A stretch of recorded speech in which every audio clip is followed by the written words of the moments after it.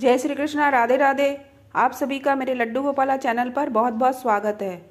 दोस्तों, भगवान तो भाव के भूखे होते हैं। उन्हें हम भारी दिखावे से प्रसन्न नहीं कर सकते। इसके लिए सच्ची श्रद्धा होनी चाहिए। भगवान निश्चल प्रेम भाव पर रीत जाते हैं। आइए सुनते हैं लड्डू गोपाल के एक ऐसे ही भक्त की कहानी। एक बार की बात है, एक औरत श्री कृष्ण की परम भक्त थी। उनके पास लड्डू गोपाल का श्री विग्रह था। जिसकी वह हर रोज सेवा करती थी। एक बार तीर्थ यात्रा के लिए, उसे एक मास के लिए घर से दूर जाना था। उसने अपनी बहू से, जिसकी अभी नई नई शादी हुई थी, कहा कि मेरे तीर्थ यात्रा पर जाने के बाद तुम लड्डू गोपाल जी की सेवा करना। बहू कहने लगी कि, ठीक है माँ जी, आप मुझे विधि बता दे। मैं पूरी श्रद्धा से उनकी सेवा करूँगी। उसकी सासू माँ कहने लगी कि, बहू, सुबह सबसे पहले ठाकुर जी को स्नान कराना। उसके पश्चात उनको सुंदर वस्त्र, आभूषण, बांसुरी, मुकुट पहनाना, इत्र लगाना और उसके पश्चात ठाकुर जी को दर्पण दिखाना। दर्पण में जब ठाकुर जी मुस्कुराए तो उनको भोग लगा देना। बहू ने हाँ में हामी भर दी तो सास निश्चिंत हो गई।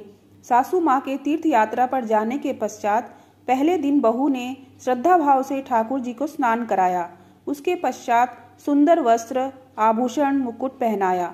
बांसुरी अर्पित की और इत्र लगाकर ठाकुर जी को दर्पण दिखाया। उसे याद आया कि माँ जी ने कहा था कि जब ठाकुर जी का विग्रह मुस्कुराता हुआ दिखे तो उन्हें भोग लगा देना।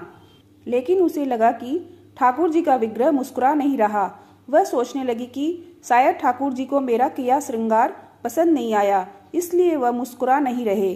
उसने ठाकुर जी को फिर से स्नान कराया और श्रृंगार की सारी प्रक्रिया दोहराई। लेकिन उसे हर बार यही लगता, ठाकुर जी मुस्कुरा नहीं रहे। ज़रूर मेरे श्रृंगार में कोई कमी रह गई है। सर्दियों के दिन थे, लेकिन बहु बार बार ठाकुर जी को स्नान कराती और श्रृंगार को बदलती रहती।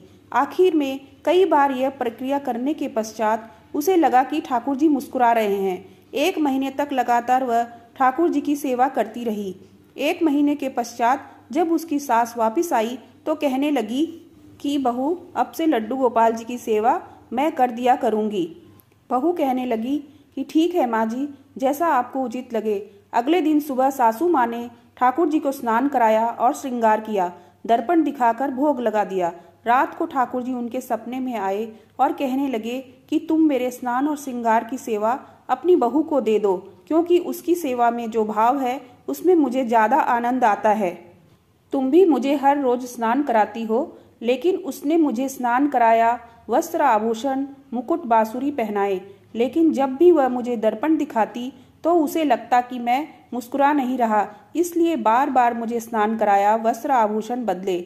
उसके इस भोले भाव के कारण मुझे सच में मुस्कुराना पड़ा। इसलिए उसकी सेवा में सच्ची भक्ति का रस मिलता है।